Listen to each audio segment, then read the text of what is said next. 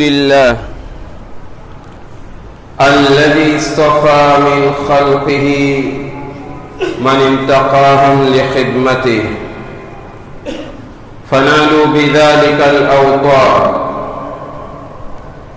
والصلاة والسلام على النبي الأمي أشرف الأخيار الذي أعطي جوامع الكلم في البسط والاختصار وعلى آله وصحبه المهاجرين والأنصار ومن اتبعهم واقتدى بهم وسلك سبيل الموصل إلى دار القرار. أما بعد إخوة الأعزاء أوصيكم ونفسي بتقوى الله تعالى فلقد فاز المتقون.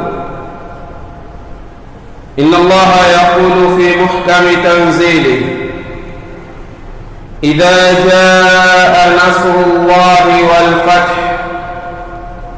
ورأيت الناس يدخلون في دين الله أفواجا فسبح بحمد ربك واستغفره إنه كان توابا.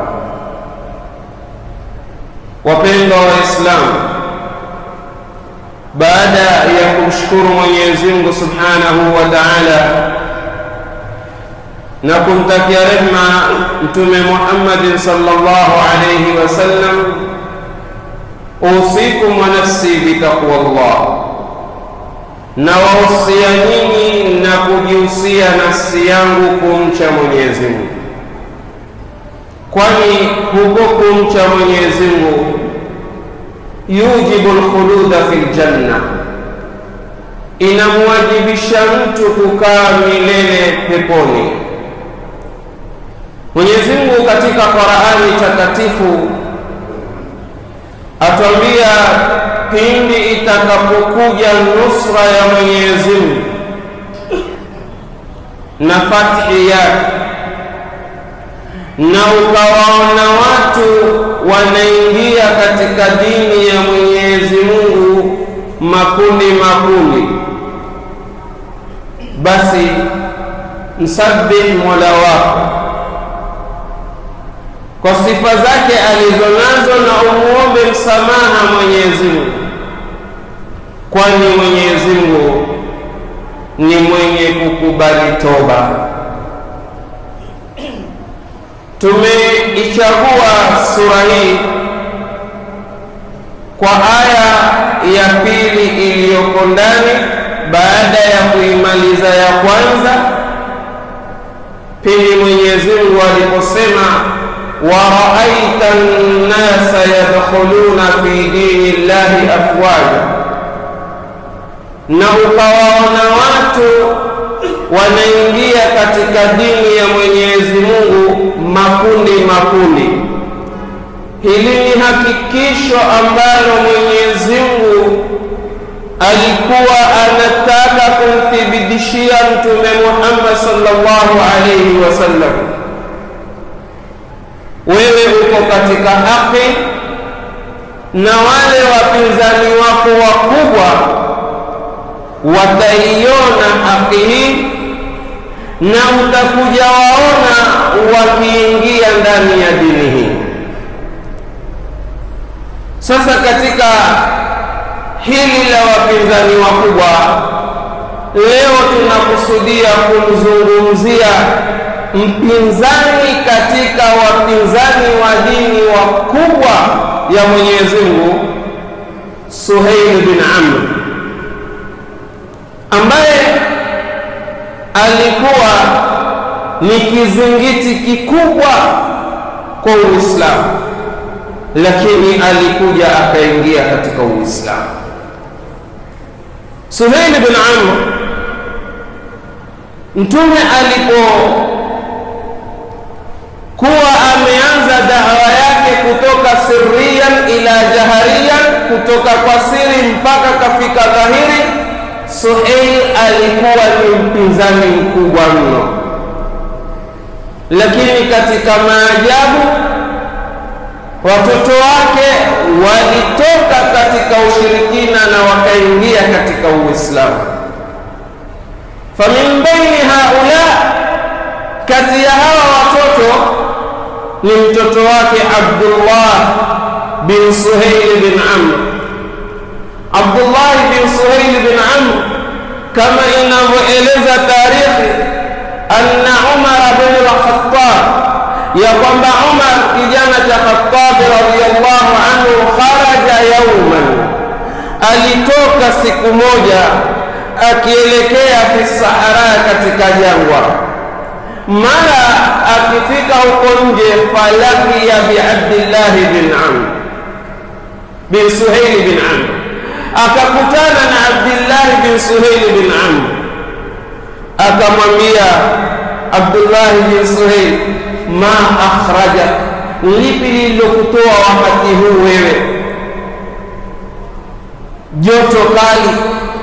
Abdullah bin Suhail akamwambia alladhi akhrajak, lilokutoa wewe ndilo lilonitoa mimi. Thumma qala Umar, kisha akasema Umar, kharajtu liurawia nafsi, nimekuja kujistarehesha nafsi yangu kuepukana na shida na vuke lililoko ndani ya nyumba, walakini lakini mimi Umar araka mahmuma, na kuona wewe Abdullahi bin Suhail mahmuma, una dhiki, uso unaonyesha una mazito. Abdullahi bin Suhail akamwambia, ya Umar, ewe Umar, hal yastatiu, je, anaweza rajulun, mtu an yaisha fi qalbain aishi na mioyo miwili, qalbun fi nafsihi, moyo mmoja wa kutumikia nafsi yake, wa qalbun linnas, na moyo mwingine kutumikia watu. Umar akamwambia haiwezekani, lazima uwe na moyo mmoja ambao utakuamrisha tena uwe na ushujaa kwa hilo ambalo utasimama nalo, usirudi nyuma. Abdullah bin Suhail akamwambia, baada ya kuambia maneno haya, Umar amwambia, kwa sababu alizungumzia maneno mengi, akamwambia amma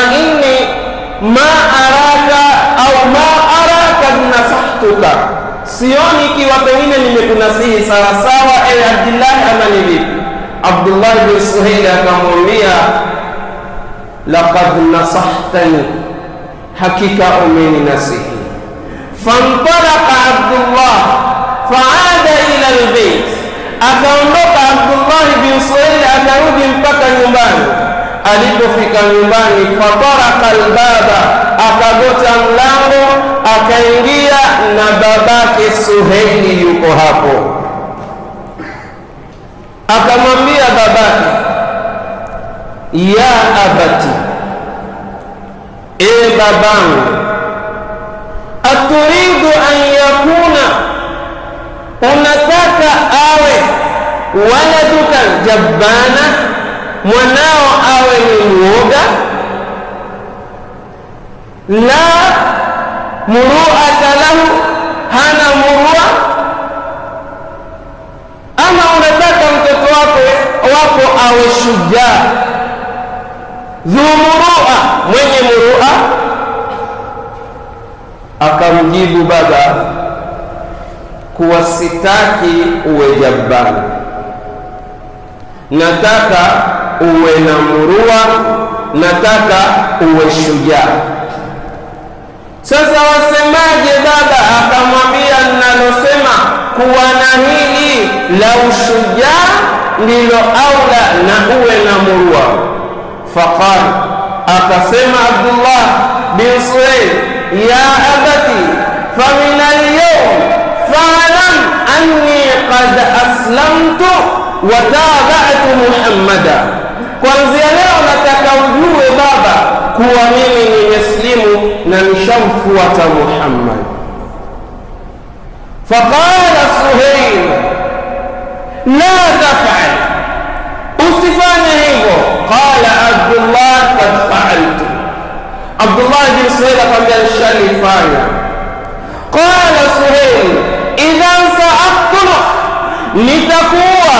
Qala lan tafal, kutoweza kulifanya hilo. Qala idhan lan utiyaka shay'an min mali wa ana a'na Quraish, basi sitokupa chochote kutokana na mali yangu, na mimi ni katika matajiri wa Kikureishi. Abdullah bin Suhail akamwambia ma inda Allahi khairun wa abqa, kilicho kwa Mwenyezi Mungu ni bora zaidi na ndicho chenye kubakia zaidi. Qala Suhail, akasema Suhail, idhan, basi ikiwa si hivyo nitakufunga nikutie cheni ubakie ndani ya nyumba hutoka. Kamwambia lan tastatia wa yakunu laka shatman, hilo utoliweza na itakuwa ni aibu, watu watakutukana ukifanya hivyo. Mwisho akaona kuwa mwana harudi kila aambiwalo, akamwambia fakhruj min baiti fa anta lasta waladi, toka nyumbani mwangu, wewe si mwanangu tena. Hapa aonyesha uzito kwamba hataki kusikia dini wala hataki kuiona. Ni pa kwanza hapa.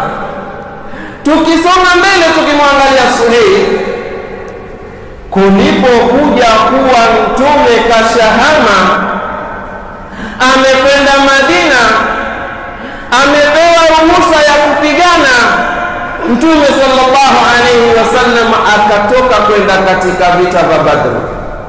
Kulipopigana vita vya Badri, Suheili alikuwa upande wa mushrikina, akashiriki katika vita. Mtume sallallahu alaihi wasallam, kama tarehe inavyotambia, jeshi lake liliua watu sabini likateka watu sabini wa min baini haulai lasra, na baina ya hawa mateka walioshikwa Suheili. Suheili naye akawa ni miongoni mwa wale walioshikwa mateka. Walipopelekwa kwa Mtume sallallahu alayhi wasallam, istashara Rasulullah sallallahu alayhi wasallam ashaba, Mtume aliwashauri masahaba zake, madha yafalu bihi? Atafanya nini kwa hawa mateka walioshikwa? Bila shaka waloisoma tarehe wanajua kuwa Mtume sallallahu alayhi wasallam alifanya nini, lakini yaangalie matokeo ya istishara, kushauriana Mtume na masahaba wake. Faqala Abu Bakr, Abu Bakr radiyallahu anhu akamwambia Mtume sallallahu alaihi wasallam, qaumuka hawa ni watu wako ya Rasulullah, ara mimi ninaona antubqiyahu wabakishe usiwaue. Kisha katika ukiangalia haya ninayoyasema yako katika siratu Rasulillahi sallallahu alaihi wasallam, lakini ukiangalia katika Rahiqi lmahdum alitongeza Abu Bakri akasema kuwa basi chukua fidia ya Rasulullah kwa wao itakuwa ni aunan lilmuslimina wa quwwatan, na ni nguvu ala lkafirina, kuwashinda makafiri tukipambana nao. Riwaya yasema katika siratu Rasul sallallahu alayhi wasallam ya kuwa faqala Umar ibn al-Khattab, akasema Umar ibn al-Khattab radiyallahu anhu ya kuwa akhrajuka hawa ni watu waliokutoa, wakataluka, na ni watu waliokupiga vita. Sioni jengine isipokuwa ni waletwe hapa wakatwe vichwa wote. Katika riwaya iliyoko katika Rahiqul Maktum inasema Umar alimwambia ya Rasulullah, mlete kila katika mateka uangalie aliye karibu naye katika famili apewe amkate kichwa watu wamezijua hizi mbili kuna na kauli ya tatu ya abdullah bin rawaha abdullah bin rawaha akamwambia ya Rasulullah, anta fi wadi dhu atabin kathiri, uko katika jangwa lenye kuni nyingi sio ni jengine ni ukusanye kuni nyingi uwashe moto uwaingize wateketee wote. Kauli tatu zimetoka katika mshawara uliotolewa faqama rasulullahi sallallahu alaihi wasallam fadakhala fi beitihi tume akaondoka akaingia ndani ya nyumba. Watu wakawasema yakhudhu birai abi bakr. Huyu atachukua rai ya abi bakr. Wengine wasema yakhudhu birai umara atachukua rai ya umar. Wengine wasema yakhudhu birai abdillahi bin rawaha. Atachukua rai ya abdillahi bin rawaha falamma kharaja alipotoka mtume sallallahu alayhi wasallam ahwa wa mala ila rai abi bakr. Alipenda na akapendukia katika rai ya abi bakr radiallahu anhu ya kuwa tuchukue fidia ili iwe ni kombozi mali yatapatikana katika umma wa kiislamu na jeshi la kiislamu. Hali kama hii ikawa ndiyo yenye kukubalika kwa sababu mtume kapewa uamuzi. Hapa kuna masala kidogo huwa watu wengi wakiyazungumza kuwa allah mwenyezi mungu aliku, alichukulia moja kwa moja kuwa umar ndiye aliyepata wala naqul akhtaa umar. Wala tusemi kuwa umar amekosea. Walakin la naqul akhtaa rasulullah sallallahu alaihi wasallam lakini hatuwezi kusema kuwa mtume kakosa umar ndiye akapata. Alipomaili katika rai hii kwanza kabla hatujaeleza haya ikawa sasa ni kutolewa zile kombozi. Mtu atoe fidia yake ajikomboe. Watu wakawa wanakuja wakijikomboa. Abdullahi bin masud qala fakultu ya rasulllah illa suheila watu wote ikiwa watakubaliwa kombozi isipokuwa suheila asikubaliwe.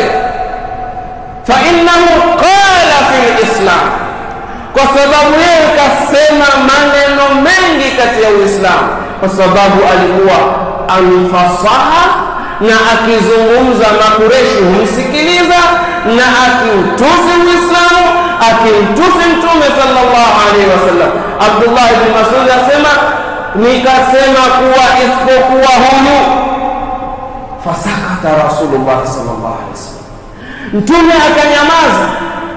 Abdullah bin masud asema hata nikajuta natamani lao ingekuwa ardhi imeanguka ikanifunika e, mbingu imeanguka ikanifunika.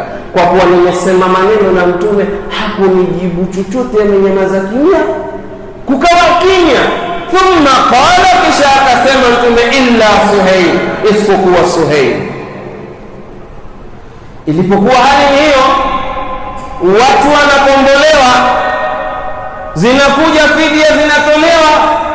Ilipofika wakati wa suheil kutolewa kombozi yake qala umar bnu lkhatab akasema umar bnu lkhatabi radiallahu anhu ya rasul allah ewe mtume wa mwenyezi mungu anzi thaniyatei suheil wa meno ya mbele ya suheil wa ya rasul allah hatta la yaquma khatiban. Mpaka awe hawezi tena kusimama kuwa na ufasaha wa kuzungumza anka kukuzungumzia wewe au kuzungumza kuhusu uislamu faqala rasulullahi sallallahu alayhi wasallam akasema mtume wa mwenyezi mungu rehma na amani zimshukie da ya umar. Wacha umar laalla. Henda wewe antasma, ukasikia kutoka kwa suheil ma yasuruk kile kitakachokufurahisha akakombolewa suheil sasa katika hali hii kukateremka aya ya mwenyezi mungu subhanahu wa taala inayosema ma kana linabii an yakuna lahu asra. Haikuwa kwa mtume awe yeye andaweza kuwa na mateka awazuie. Yeye ni kuua akipata mateka. Hata yufina fil ardh yani mpaka amakinike lakini kwanza lililobakia kwa mtume akishika mateka hakuna kumweka wala kombozi ni kumuua. Hata yufina fil ardh turiduna aradha dunia mwataka malengo ya kidunia. Wallahu yuridu lakhirata na mwenyezi mungu ataka akhira wallahu azizun hakim. Mwenyezi mungu ni mshindi hakimu. Laula kitabu sabaq. Lau si kitabu cha mwenyezi mungu sheria iliyotangulia ingekuwa haikutangulia kabla, kabla ya hapo lamassaku. Ingeliwapata nyinyi fima akhadtum kwa kile mulichochukua laula kitabu min allahi sabaq fima akhadtum lamassakum. Ingeliwapata nyinyi fima akhadtum adhabun adhim. Kutokana na mulichochukua kutokana na kombozi adhabu nzito mno. Sasa hapa kuna riwaya inayosema siku ya pili Umar akakutana na mtume kakaa chini walia na Abu Bakri walia, akawauliza ma yubkiani faabki bibukaikuma, kipi kinachowaliza? Nami nilie kwa kilio chenu, na ikiwa sina kilio basi nijilize. Riwaya inasema mtume akamwambia kuwa ni yale tuliyoyafanya kwa kukubali kuchukua kombozi badala ya kuwaua wale, na imeteremka aya inayotaja adhabu iliyo karibu nasi zaidi ya huu mti ulioko karibu. Kulikuwa kuna mti karibu pale, mtume amwambia huu mti hapo liko karibu, lakini adhabu iko karibu zaidi. Hili ndilo ambalo linatuliza sisi. Kisha riwaya inasema faqal, kasema Mtume sallallahu alayhi wasallam, lau nazala adhabu, lau ingate ingeziteremka adhabu, manaja hangeokoka yoyote illa Umar, isipokuwa Umar radhiallahu anhu. Hapa sasa watu huja wakamweka mtume chini wakamwona Umar yuko juu, lakini unapoisoma hii aya utakuta Allah Mwenyezi Mungu ayyada Umar, amemtilia nguvu rai ya Umar bishar'in man qablahu, kwa sheria aliyoletewa mtume aliyonayo mtume, kuna sheria iliyotangulia kuwa wa iyatukum usara tufaduhum wa huwa muharramun alaikum ikhrajuhum. Sheria ya zamani ilikuwa mateka wakishikwa hawafai kukombolewa, huuawa. Sasa Umar ameafikiwa kwa sheria iliyoko kabla na Mwenyezi wa Rasulullah na mtume wa Mwenyezi Mungu. Mwenyezi Mungu wafaqahu bishar'i, amemwafikia yeye kwa sheria ambayo yaja kabla haijaja mtume kaitumia. Nayo ni ipi? Kukubali fidia kama anavyosema mwenyezi mungu ndani ya quran ukiisoma hii aya ukiendelea mbele mwenyezi mungu asema fakulu mimma ghanimtum halalan tayiba kuleni kutokana na mulichopata kutokana na ghanima ni halali iliyokuwa nzuri kabisa. Kwa hivyo allah ayada umara wa الرسول rasula fi sharihi mungu kamuunga umari kule na akamwafikia mtume kwa sheria ambayo yaja kwake. Tusije tukamwona mtume sallallahu alaihi wasallam hapa amekosea. Basi ni nani anayelaumiwa? Anayelaumiwa hapa ni pale ukiangalia aya imekuja kwa lafdhi ya jami neno la wingi pindi mwenyezi mungu subhanahu wa taala aliposema laula kitabu saba, lau si sheria iliyotangulia. Minallahi, itokayo kwa mwenyezi mungu kwa watu waliotangulia lamassakum ingewagusa nyinyi nani? Baadhi sahaba baadhi ya masahaba kuna baadhi yao walishangilia waliposikia kuwa tutachukua kombozi. Wakaona haya ndiyo mali yaja. Sasa lawama ilikuja kwa wale ambao fi qulubihim sheiun min addunia katika nyoyo zao kumeingia kitu katika dunia na wale ambao hawakuwa na hilo basi mwenyezi mungu hakuwawekea lawama akiwa kwanza ni mtume wa mwenyezi mungu sallallahu alayhi wasallam kwa hivyo hapa tufahamuni wala tusijaribuni kusema kuwa mtume alikosea umari ndiyo akapata.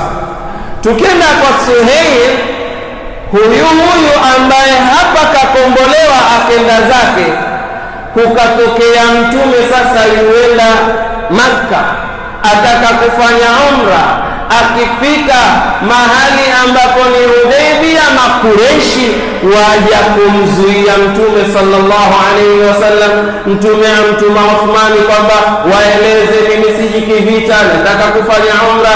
Wakakataa kabisa. Wakapeleka watu kumwonyesha kwamba mtume usiingie.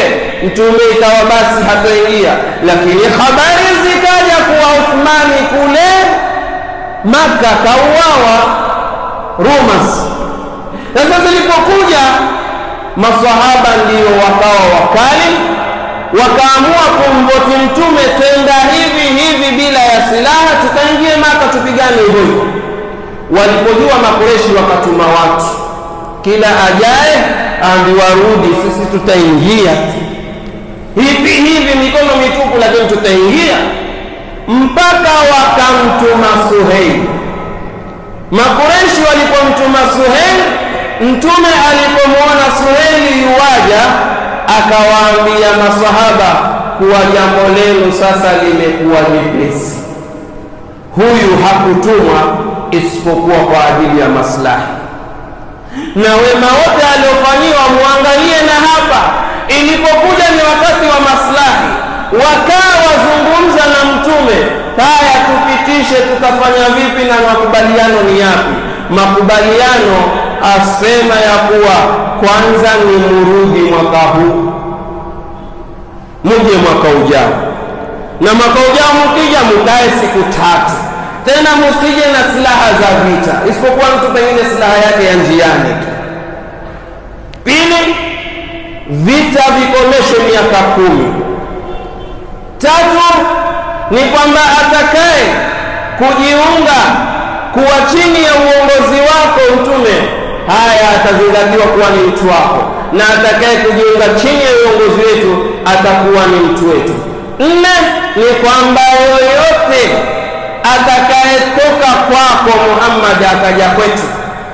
Tumpokee sisi na yoyote atakayetoka kwetu kuja kwenu umrejeshe kwetu, ana ruhusa kuja kwako. Kawa ngumu sheria, lakini Mtume kwa kuwa anataka islahi akakubali zote, na kwa bahati mwana wa Suheil Abu Jandal akawa ni wa kwanza kuja kukimbia kutoka Maka, naye ashasilimu kule. Suheil akamwambia Mtume, hili ndilo la kwanza, utakubali? Huyu itarudi huko huko akamwambia lakini tu, tuko katika mkataba, hata sijawatangazia watu. Akamwambia hapana, utalikubali hili. Akalikubali Mtume sallallahu alaihi wasallam. Kukaenda hivyo, maswahaba wakarudi zao mpaka yalipotokea matokeo sasa, walipovunja ahadi Makureshi. Mtume sallallahu alaihi wasallam yuwaja sasa fath Makka alipokuja fatri Makka, Suheili na mambo yake yote haya aliyoyafanya hajasilimu, na vema alizofanyiwa hajazitambua. Tume akaingia maka kinguvu. Sasa watu wanamwogopa, hali ndiyo hii. Mtume alipoingia akawa hakuna wa kupambana naye, mpaka ikafika wakati Suheili amwambia mwanawe Abdullah, sioni wema wowote ambao Muhammadi atautambua kwangu aweze kunisamehe leo. Mtoto wake akamwambia Mtume atakusamehe kwa sababu ni mtu anayependa kusamehe, ni mtu mzuri. Ikabidi Suheil baadaye ajitoe ajipeleke na aende kuslimu kwa Bwana Mtume sallallahu alayhi wasallam. Angalia hali hii alipojitoa kwenda kule. Tusisahau neno la Mtume sallallahu alayhi wasallam, da ya Umar, wacha ewe Umar, henda ukasikia maneno mazuri kutoka kwake huyu bwana.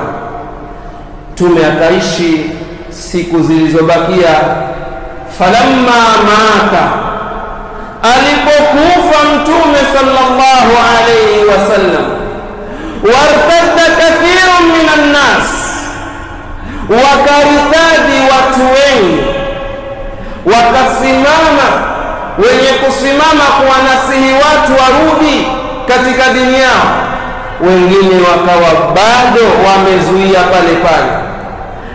Itab akasimama watu wakaisikia ile khutba yake, wakawa wapo katika ule ule ukafiri wao waliorudia, lakini wamejifita. Faqama Suheil, akasimama Suheil, faqala ya ma'shara Quraish wa ya ahla Makka, enyi Makureshi na watu wa Maka, la takunu, musiwe akhiru watu wa mwisho man dakhala alislama, walioingia katika Uislamu wakati wa Mtume, watakununa awalu man yakhruju minhu, mukawa ni wa mwanzo kutoka katika Uislamu. Mumechelewa kuingia katika Uislamu nyinyi, mbona leo mwataka kutoka kwa kuwa watu wa mbele? Watu wakarudi. Kauli nyingine yasema, Suheli alisema man rabana man rabana, yoyote atakayetutilia shaka sisi kuhusu kifo cha mtume na kuhusu kubakia dini ya mtume, dharabna unuka tutampigilia mbali shingo yake tumuue.